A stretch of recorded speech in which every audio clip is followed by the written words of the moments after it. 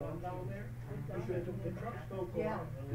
good morning, everybody. Morning. Morning.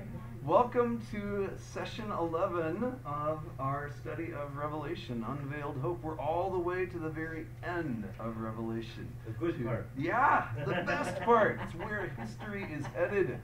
Last Sunday, we looked at uh, the New Jerusalem uh, in chapter 21, and today is chapter 22, the very last words of the last book of the Bible, uh, where it's all headed. So, uh, I wanted to start off by asking you if uh, what questions do you have about Revelation that we haven't talked about so far? Are there any things that, you know, as you've been reading Revelation over the years and have, uh, or, you know, this time through, uh, are there other questions that have come up for you that we haven't talked about yet? I know we've packed a lot in in these 11 sessions here. But if you think of things, even any any time along here, uh, please let me know and we'll we'll try and look look at them. Pastor, I think the biggest thing for us growing up, we didn't stress so much the heaven coming to earth. Yes, yeah, You know yeah. I mean?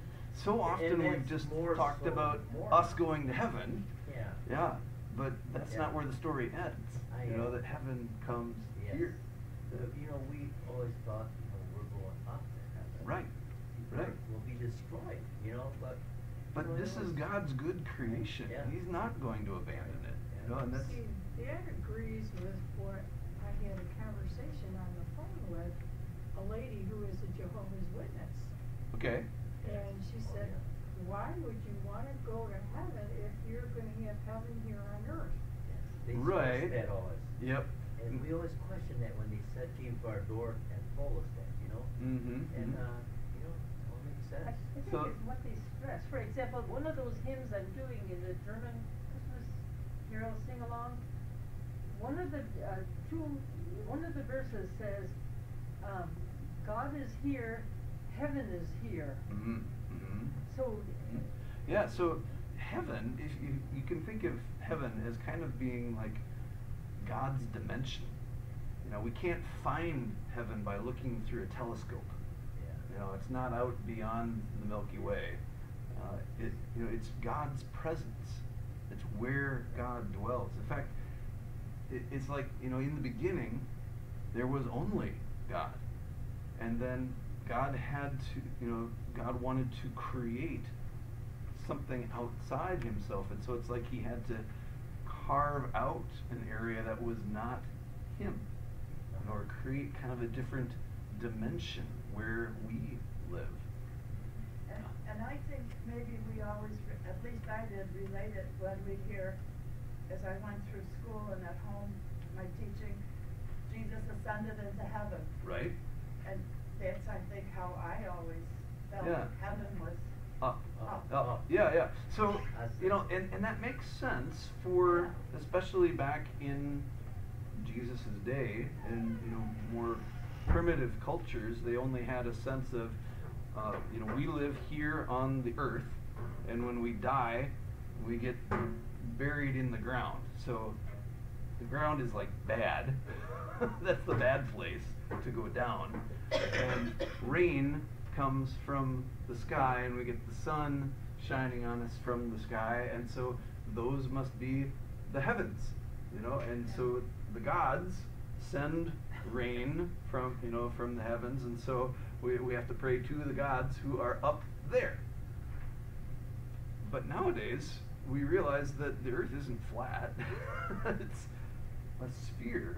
And it's going around the sun, and there are all these, you know, the stars are not just little lights strung up in the sky. They are galaxies and star, you know, stars at unimaginable distances. But you can't find God by looking through, you know, even the Hubble Space Telescope. God is outside of this creation. And yet, He also lives in our hearts, comes to dwell in us. And that's what He longs for, is for us to to be restored to a relationship with Him. So the only ones that are in heaven are the ones that die before he comes? You know Right now, yeah, yeah. So, um, The soul, right? yeah. So, so like when Jesus, uh, when Jesus was on the cross, he said to the thief next to him who believed in him, he said, "Truly I tell you, today you will be with me in paradise." So paradise, you know, is, is a way of understanding the presence of God. And that points back to how things were in the very beginning. When God created everything, everything that He created, He looked at it, He looked at it and said, This is good. And then He made humans and said, These are good. And He walked with them in the Garden of Eden. Now, heaven and earth were one at that point, where He, you know, dwelled with His people. But then what happened? Things went south. Yeah, yeah, I think I shared last uh, one of these uh, times that you know if you take sin out of the Bible, you have the first two chapters before the fall, and you have the last two chapters where God makes all things new and restores things to where it, he, he, his original intention was. Well, you know what I, when you just said about those that died have gone to heaven. Right. I mean, What about then they say the people will rise from the grave? Mm-hmm. The Yes. dead shall rise, And that's so- the, and that's the already up resurrection. Yeah. So it's where we will be reunited with our restored, uh, glorified bodies. Yeah, body and soul. Yeah. Oh, yeah. Yeah, that, that human beings are not, you know, a soul encased in a little flesh, you know, thing. Uh, it's it's much more um, holistic than that. You know that um, our our bodies and souls are meant to be together. We're we're all one. Uh, it's not something that you can just easily, you know, divide. You can't, you know, look with a microscope inside a person and find, oh, there's where the soul is. it's uh, we're, but somehow when we die, we go to be with the Lord. That's what Paul said. You know, that when he was nearing the end of his life, he said, "I'm I'm torn. You know, I want to go and you know and be with the Lord. That's that's better. But I know that if I stay and I'm still here with you, that it'll be helpful for you. And so I want to do what's helpful for you. so heaven is God's presence. And those who die in the Lord are with the Lord. Uh, and one day we will be reunited with those who've gone before us in faith. We'll have new bodies that won't, there won't be disease or decay or death. And the world will be restored the way God always intended it to be. We're not going to be floating around on clouds with harps.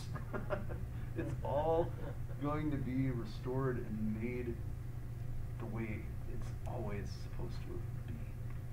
Could we call it another dimen- dimension? Yeah. hear so much about Yeah. that lately. Right. Um, uh, there's a, a great Bible Project video. Um, I think maybe we watched that, the one on heaven and earth. Um, you can find that on their website or, or just on YouTube. Just type Bible Project Heaven and Earth. Uh, and, and in that, they talk about uh, it's kind of like God's dimension and our dimension, and at times they overlap. Like when at the temple, for example, that was where people would go to be in God's presence.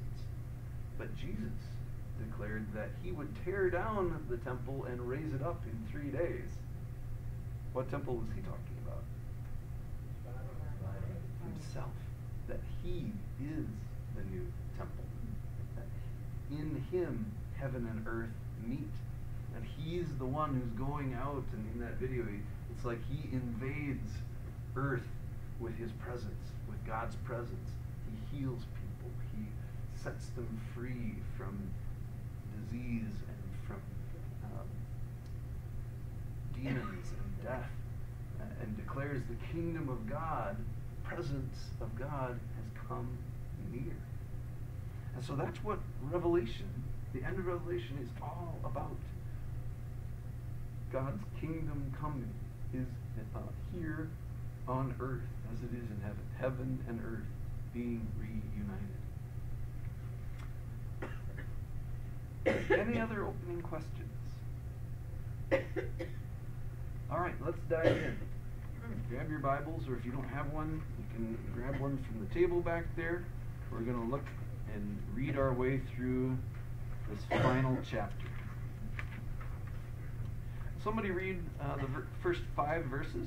Then the angel showed me a river with the water of life, clear as crystal, flowing from the throne of God and of the Lamb. It flowed down the center of the main street. On each side of the river grew a tree of life, bearing twelve crops of fruit, with a fresh crop each month. The leaves were used for medicine to heal the nations. No longer will there be a curse upon anything, for the throne of God and the Lamb will be there, and his servants will worship him. And they will see his face, and his name will be written on their foreheads. And there will be no night there, no needs for lamps or sun, for the Lord God will shine on them, and they will reign forever and ever. All right. So he sees the city, and what's flowing out from God's throne? Light. What's it? Yeah, the river of the water of life. Yeah. Uh, A lot of fruit trees. yes. And we won't have to trim them, there'll be fruit. yes. Isn't that We don't have to trim interesting? them, don't have to spray interesting? them. So, Don't have to spray them with DDT anymore. no more weeds. yeah. So how is the water of life described here? Yeah, as bright as crystal. And where is it flowing from? Of God. Yeah, from God's throne, and it flows right through the middle of the city. Uh, and this this is an echo from um, Ezekiel.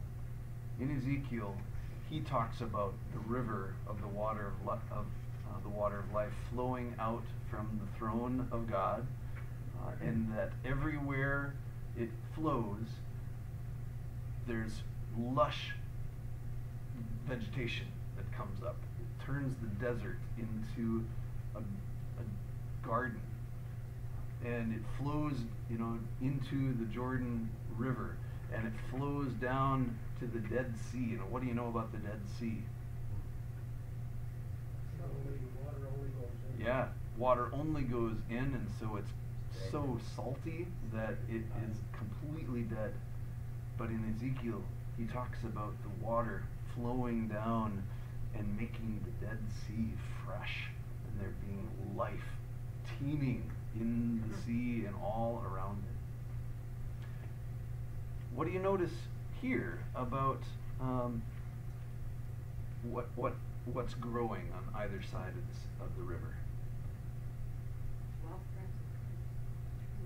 Yeah, the tree of life. Now, where have we heard of the tree of life before? Garden of Eden, Garden of Eden. This is Eden restored. and you can eat from Yes, yes. God said to Adam and Eve, "You can eat from any tree of the garden except which one? Good No, and the, the tree of the fruit of the knowledge of good and evil.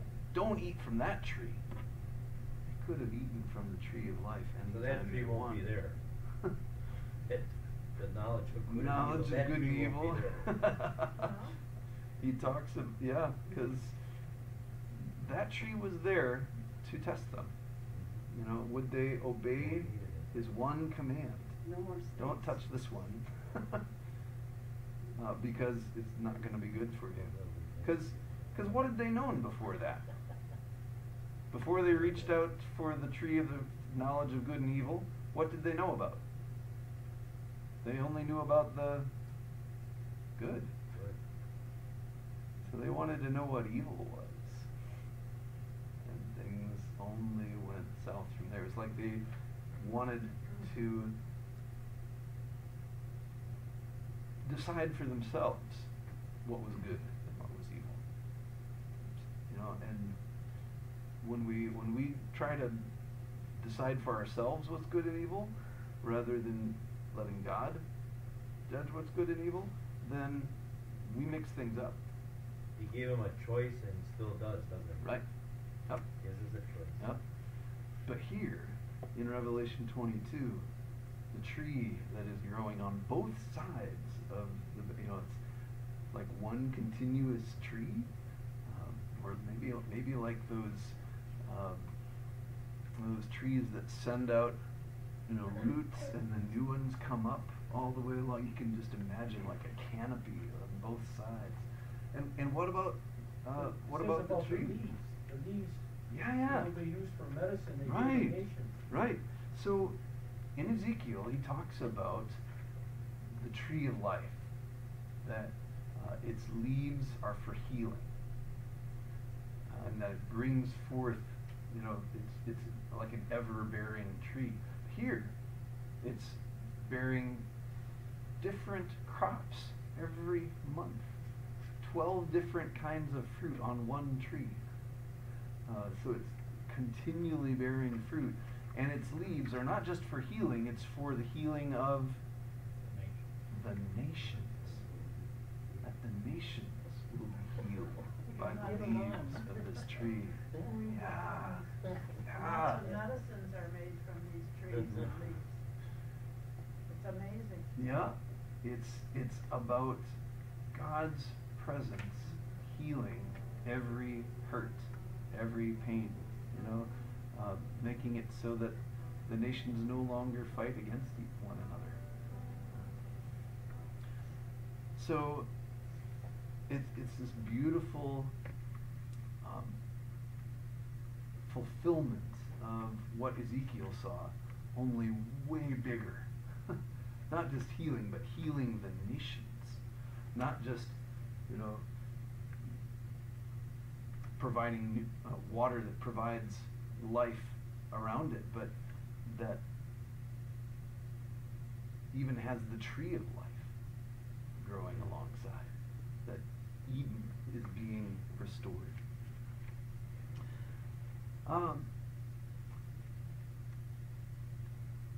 one of the handouts that I gave you today has on it a a little chart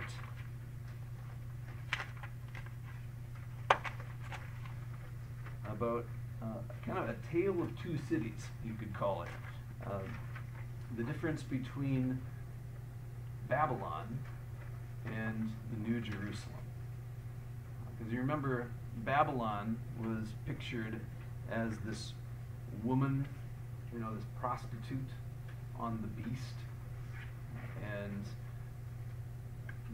um, there's all these different descriptions throughout Revelation of what happens to pretty much any civilization that looks to themselves and tries to build themselves up.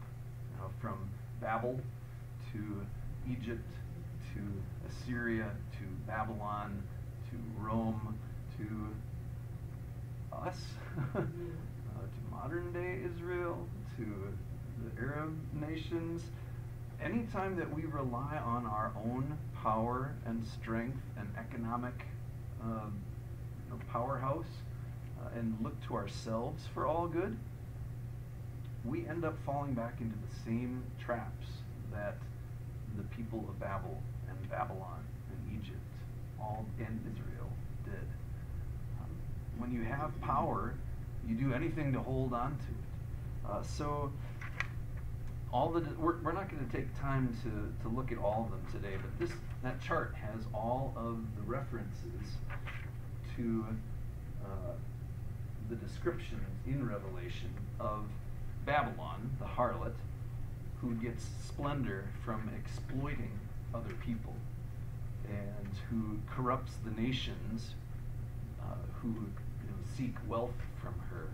And she's described as being full of impurity and deception. She makes the nations drunk on sin.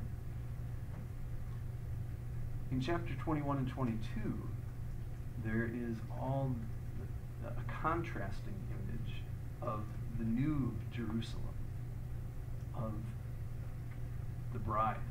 Uh, that she is the bride of Christ, um, comes down out of heaven from God. And she gains her glory not from exploiting other people to gain glory, but receives glory from God.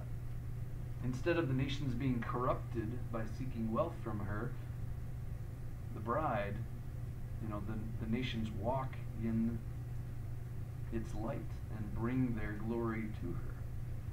Instead of being full of impurity and deception, in the New Jerusalem, nothing impure or false will be found there. And instead of making the nations drunk on sin, what flows through her streets are the water of life and the tree of life through the healing of the nations.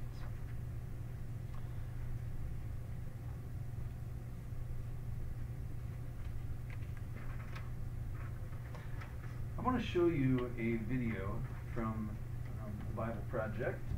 Uh, some of you may have seen this one already, uh, but I think it's really important for us to revisit it um, as we're looking at the tree of life, uh, which is kind of the bookends to the Bible. That there's the tree of life in Eden, and then there's the tree of life in the New Jerusalem.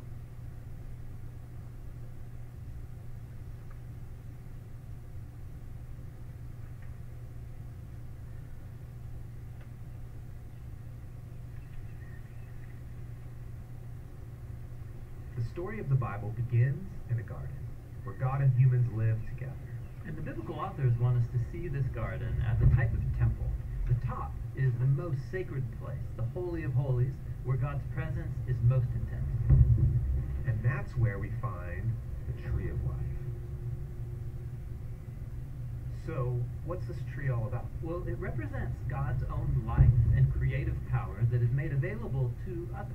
In fact, God's first command is that humans eat from all of the trees, including this one. So you're ingesting God's own life. That sounds intense. Yeah, this meal transforms the one who eats it. Or, in the words of the story, it leads to eternal life. Okay, but on the way to the tree of life, the humans have to pass by another tree called the tree of knowing good and bad. And God says that eating from this tree will kill you. How does it do that? Well, it represents taking the authority to do what is good in your own eyes.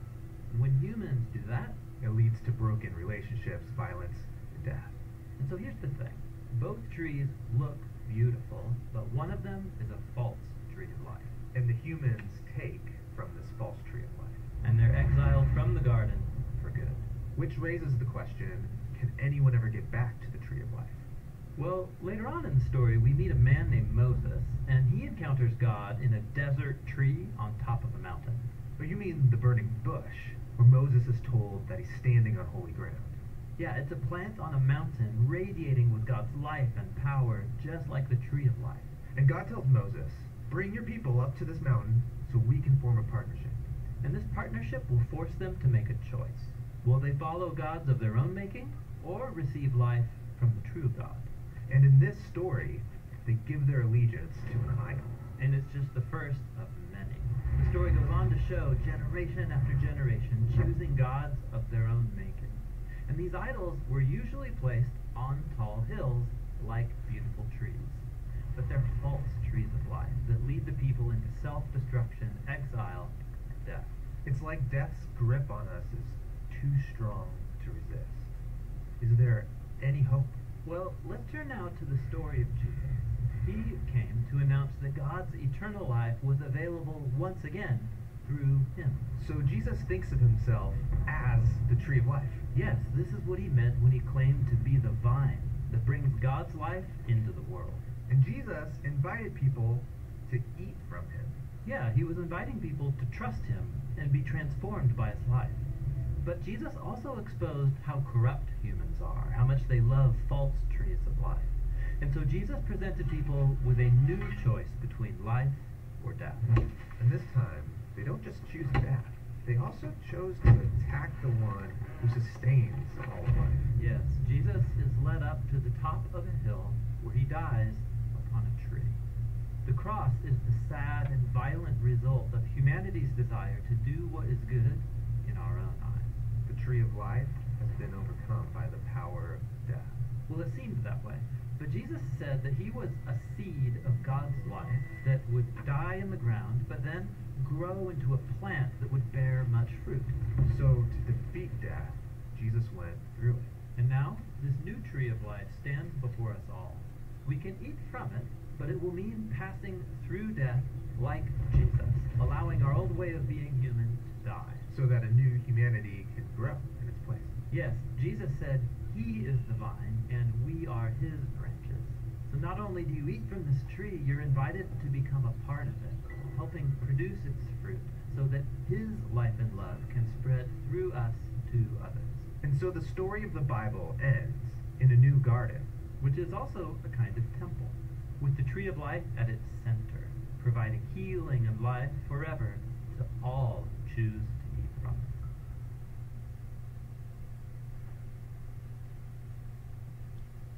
What did you find interesting in that video? What echoes did you hear? Or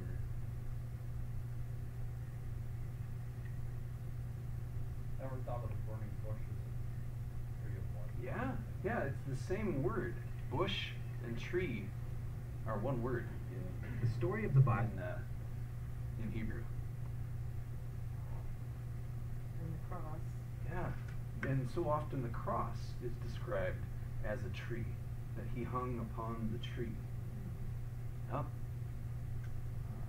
You know that they intended as this horrible death and humiliation, and yet through his death, Jesus conquered death, rose from the grave as the first fruits you know, of a much greater harvest that he said unless a, unless a seed dies and is put in the earth then when it does then it produce it grows and produces much fruit.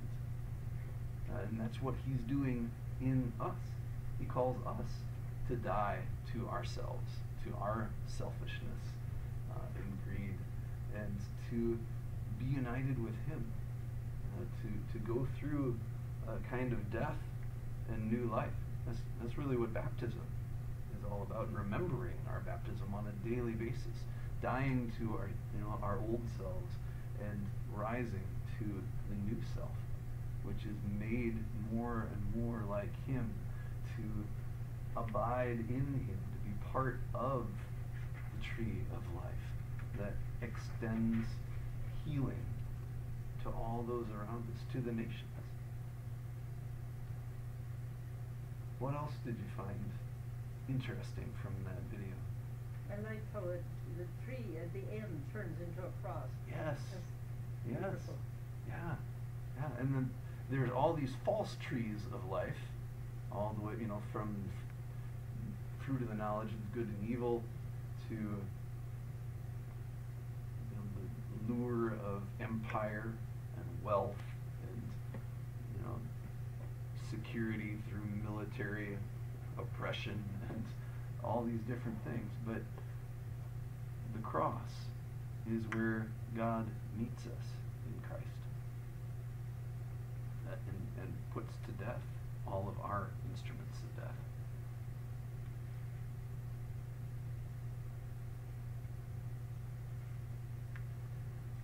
Let's go on and uh, oh, actually, well, let's see here. Is there anything else from that one? Um, yeah, how can you recognize a false tree of life?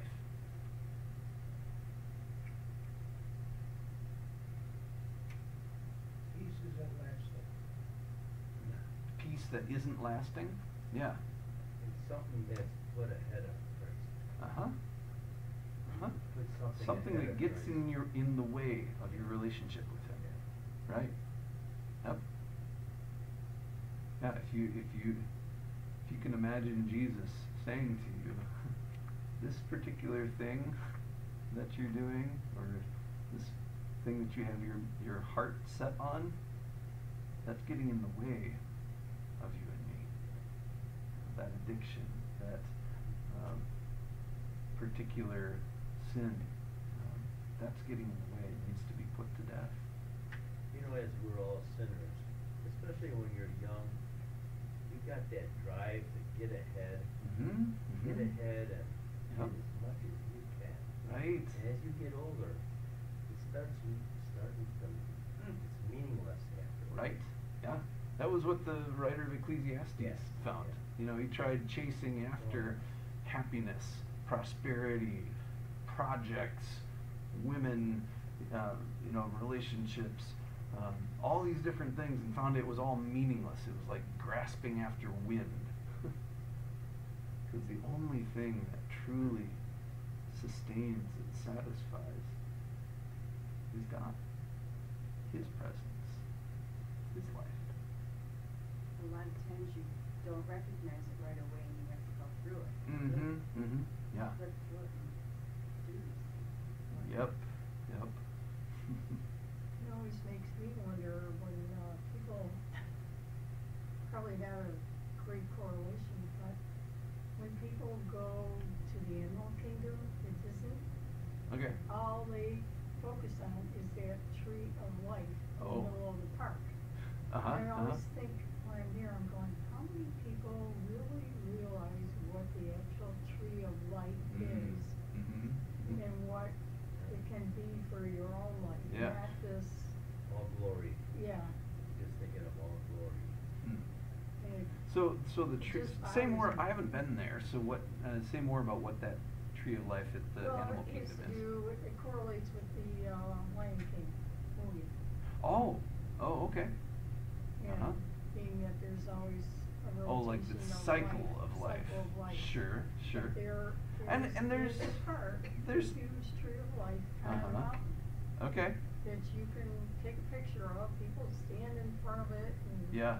Look yeah. at it all and then think, oh boy, this is the big, big to-do thing here, you Uh-huh, know, and uh-huh. photo moment. And I just look at it and I'm going, no, it's not the real thing. The real tree of life is Jesus. Yeah, I mean, you have people from all other countries coming and just flocking to see this tree of life. Uh-huh. It's like, no. Spectacle. Yeah. Yeah. So there's all kinds of false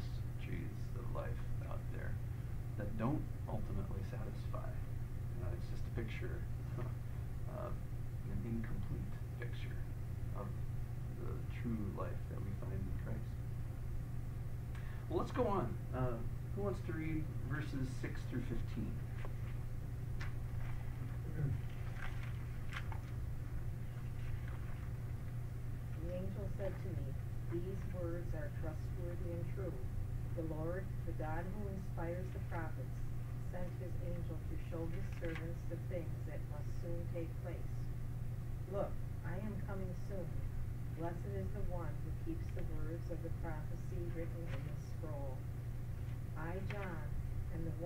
Heard and saw these things. And when I had heard and seen them, I fell down to worship at the feet of the angel who had been showing them to me. But he said to me, Don't do that.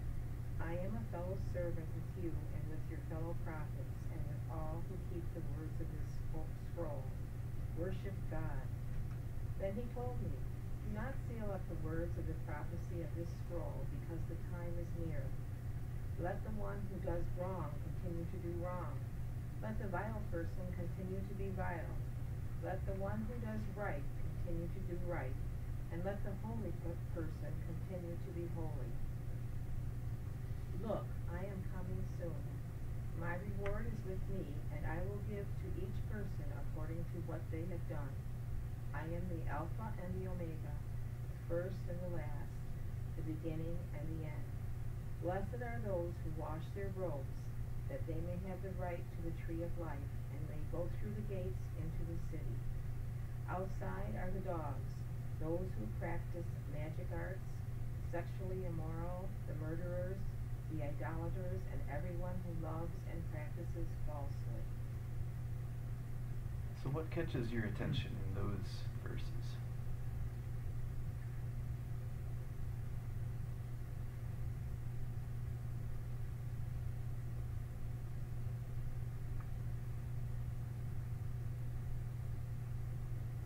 What sticks out for you? One that always confuses me is where he said, I will reward you for the good deeds you have done. Mhm, yeah. And yet I still have a problem, we're not saved according to our deeds. Right. Yep. That Yep. still always confuses. Yeah. Well, you know, um, last week we heard the story, or recently we heard the story of the parable of the talents, Mhm. where you know he entrusts to his dis- his servants uh, his all of his property. Know, massive amounts of money, and some of them put it to work and um, produce more. And afterwards he says, "Well done. You've been faithful in a few things. I gave you three million dollars. You made three million dollars more.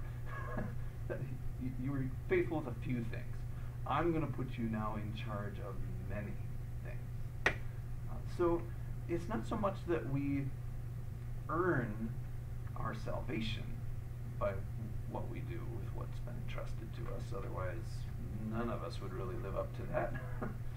but God promises that in the new creation, there will still be work to do. Uh, and He will put us in charge of many things, and we will enter into the joy of our Master. Does that help, or does that not quite get at what you're. Mm, It's hard to comprehend, really. I know, I know. Yeah, because our, our works do not save us. We are saved by God's grace alone, His love, His unmerited favor. Um, you know? It's but almost like, yes, I know I'm gonna go to heaven, but then he'll say, but you know what, I I always say it's good enough for me just to get there. But, you know, you wonder. and that's the thing. And that's the thing. You know, we're when everything is made new and brought back into alignment and made fresh and clean and without disease and decay, that's going to include us too. Not just our transformed bodies, but our transformed hearts. Uh, God says over and over in Scripture, I am going to give you a new heart uh, that worships me. Yeah. No worries, no worries. Yeah. If, when you're in heaven, everything is perfect, then why do you need the tree of life for healing of the nations? Isn't that interesting? Uh, uh, I know we'll find out when we get. Yep. there's you know, it's it's part of. Uh, maybe it's a it's not gonna be. process. maybe it's not going to be instantaneous, you know, but there's going to be still work to do of setting things right. I mean, think about all of the wrongs that have been done to people by other people throughout history. That's a big snarl that's going to take a while to unravel. yeah. And go, kind of going back to what Sandy was talking about, not to waste till the last minute, but when we think of the um, criminal on the cross Yeah. for his full, he's being hung for Right. all the bad he's done. But Mhm, Jesus says, mhm. "Today you'll be with me in paradise." Yeah. Because he looked to Jesus and trusted him and said, Remember. All he said was, Remember me. and Jesus gives him way more than that. He says, Truly I tell you, you'll be with me today in paradise, in the presence of God. He could see his heart. He Mhm. What was in his heart. Mhm. That's right.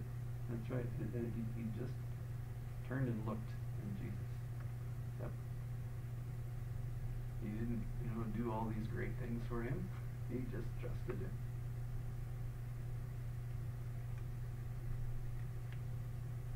What else from those verses? seems to start as an angel talking to John, but then Yep. it seems like the text switches Right. Yeah. So in so verse um, Sixteen, Jesus is talking. right, right, and twelve as well. So yeah, it's the angel speaks through um, verse eleven. He said, you know, you know, he says, first of all, John tries to worship me. He's like, no, no, no, no, no, I'm not God. Don't worship me. uh, don't seal up the words of the prophecy of this book. Uh, you know, the time is near. Uh, but then in verse 12, it shifts to Jesus speaking. Behold, I am coming soon, bringing my recompense with me to repay each one for he has done for what he has done. Um, I am the Alpha, or actually, no, this is God speaking. I am the Alpha and the Omega, the first and the last, the beginning and the end. Will there still be angels? Oh no, around that it? is Christ. That is Christ speaking. Will there still be angels? Oh yes, in the new, absolutely. still be. Absolutely, they are some of God's. You know, an an- the the word angel uh, literally is messenger. So they are God's messengers. They're you know, we have this false idea that um, when you die, uh, you become an angel. you know, oh, you know, God needed another angel in heaven, and so that's why He took your loved one. No, the angels are totally different beings. They are angelic warriors, part of the host of the heavenly armies. Yeah. So Revelation talks over and over about the angels and the elders and these living beings. There's all these other creatures that we don't even know about um, that are part of God's creation. Where the lions will lay next to the lamb. Yeah, yeah. Mm-hmm. When all is made We Don't new. have to worry about the snakes anymore. That's right. They probably got feet then. I think that they were created originally with feet, snakes. What makes you think that? Because then afterwards, when sin was brought in, Yeah. they were told that they Oh, will cursed. crawl on their Crawl belly the forever. belly. Yeah, yeah.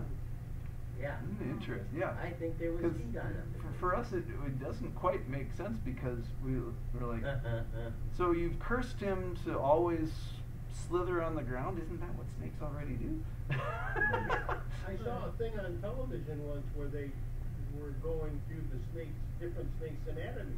Uh-huh. And some of them do have what looked like at one time had been hip bones. Ah, uh huh. Interesting. Wow.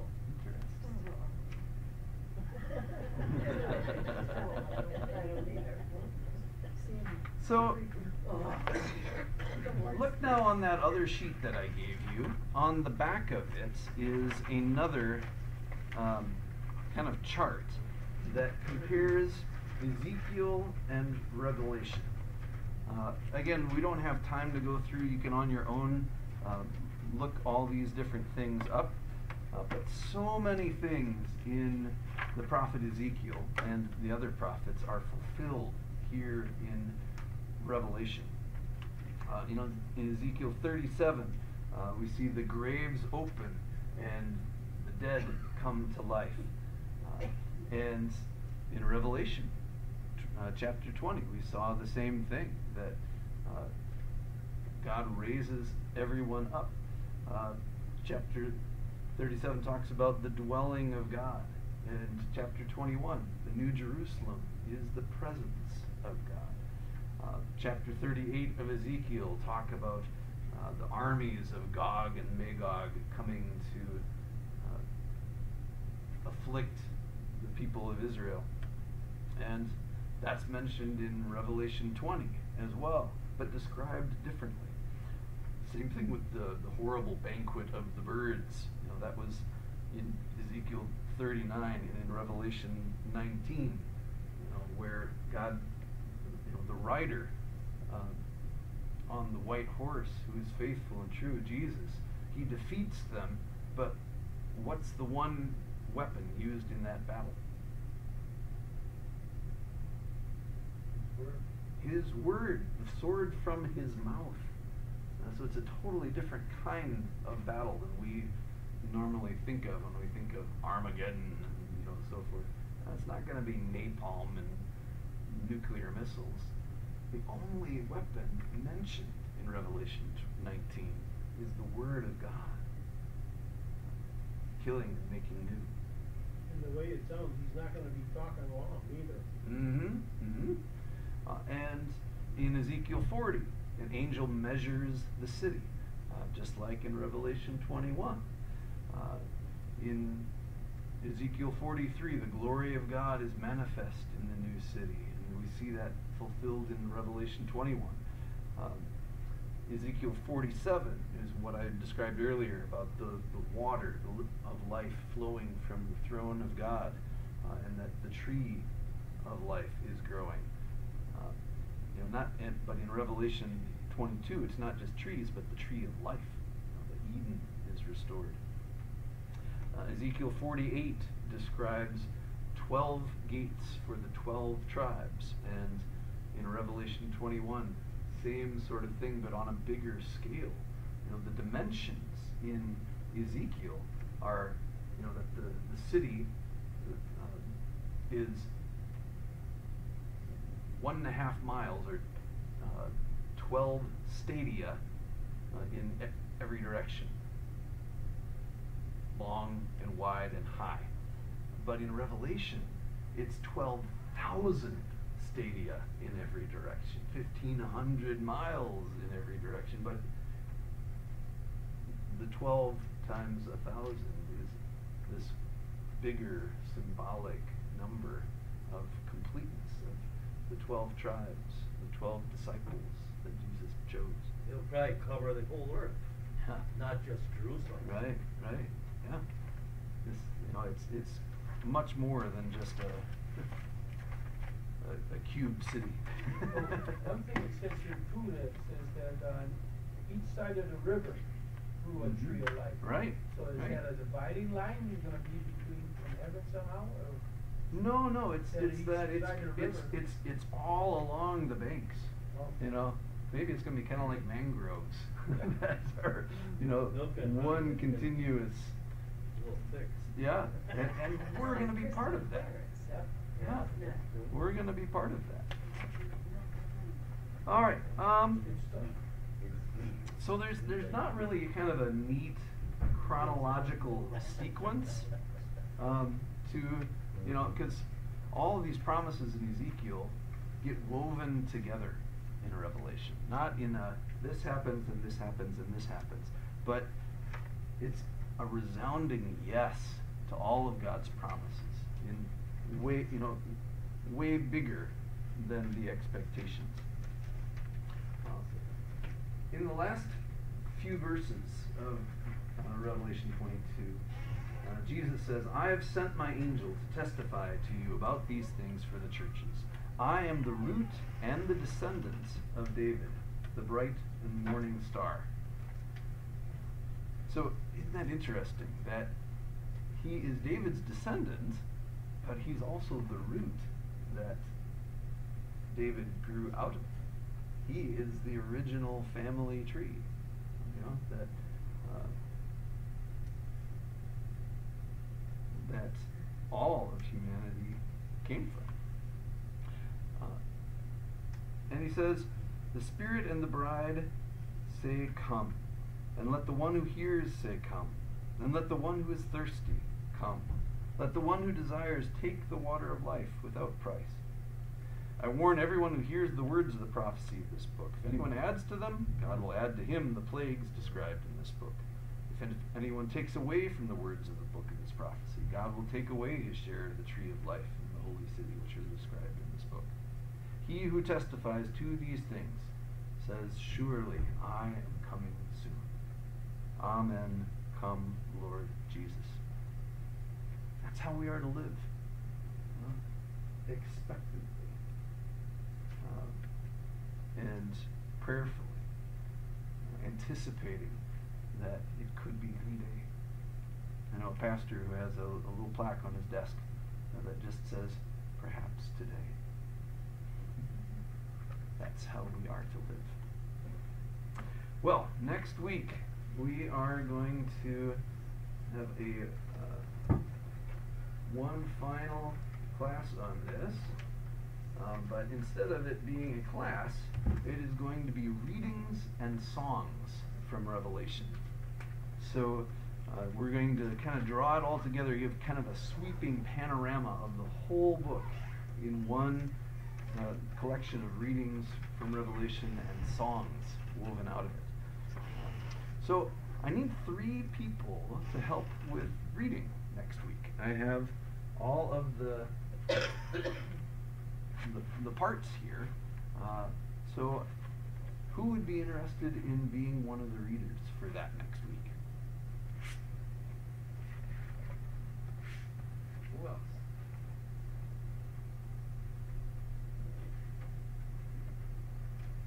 Martha, would you like to be one?